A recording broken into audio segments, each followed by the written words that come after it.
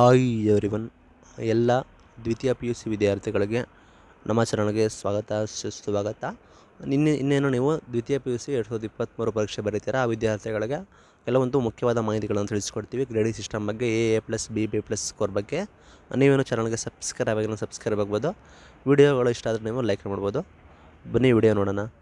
ಇಲ್ಲಿ ವಿದ್ಯಾರ್ಥಿಗಳು ನೋಡೋದಾದರೆ ಇಲ್ಲಿ ನಿಮಗೆ ಲ್ಯಾಂಗ್ವೇಜ್ ಅದು ಕೊಟ್ಟಿದ್ದಾರೆ ಗ್ರೇಡ್ ಸಿಸ್ಟಮ್ನ ಇಲ್ಲಿ ನಿಮಗೆ ಹತ್ತು ಪಾಯಿಂಟ್ಸ್ ಬಂದರೆ ನಿಮಗೆ ಔಟ್ಸ್ಟ್ಯಾಂಡಿಂಗ್ ನೈನ್ ಬಂದರೆ ಎಕ್ಸಲೆಂಟ್ ಏಯ್ಟ್ ಬಂದರೆ ವೆರಿ ಗುಡ್ ಸೆವೆನ್ ಬಂದರೆ ಗುಡ್ ಸಿಕ್ಸ್ ಬಂದರೆ ಅಬವ್ ಅವರೇಜ್ ಫೈವ್ ಬಂದರೆ ಅವರೇಜ್ ಫೋರ್ ಬಂದರೆ ಫೇಲ್ ಅದೇ ರೀತಿ ಝೀರೋ ಝೀರೋ ಅಂತ ಕೊಟ್ಟರೆ ಫೋರ್ ಅಂತ ಕೊಟ್ಟಿದ್ದಾರೆ. ಇಲ್ಲಿ ನಿಮಗೆ ಪರ್ಸೆಂಟೇಜ್ ಮೇಲೆ ಆಗುತ್ತೆ. ನೀವು ಇಲ್ಲಿ ತೊಂಬತ್ತರಿಂದ ನೂರು ಪರ್ಸೆಂಟೇಜ್ ಒಳಗೆ ಬಂದರೆ ನಿಮಗೆ ಔಟ್ಸ್ಟ್ಯಾಂಡಿಂಗ್ ಅಂತ ಕೊಟ್ಟಿದ್ದಾರೆ. ಅಂದರೆ ಎ ಪ್ಲಸ್ ಬಂದಿರುತ್ತೆ. Eighty to eighty nine A seventy to seventy nine B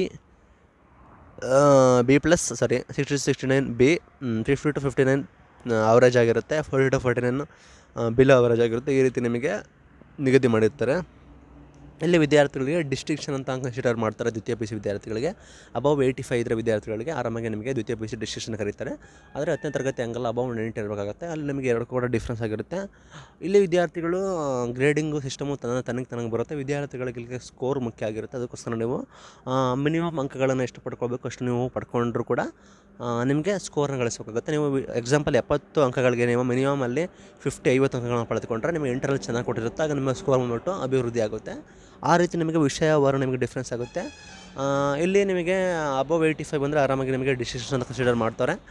seventy to eighty five ಇದ್ರೆ ನಿಮಗೆ ಆರಾಮಾಗಿ A A plus eighty five ಅಂದರೆ ಎ ಪ್ಲಸ್ ಏಯ್ಟಿ ಫೈವ್ ಮೇಲೆ ಎ ಪ್ಲಸ್ ಅಂದಂಗೆ seventy to eighty five A ಆಗಿರುತ್ತೆ sixty seventy B B plus fifty to sixty B ಅಂತ consider ಮಾಡ್ತಾರೆ.